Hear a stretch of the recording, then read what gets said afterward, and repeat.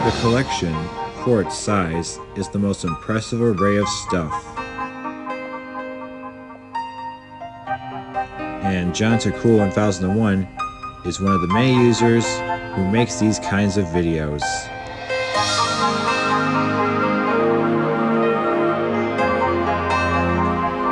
These are the collections.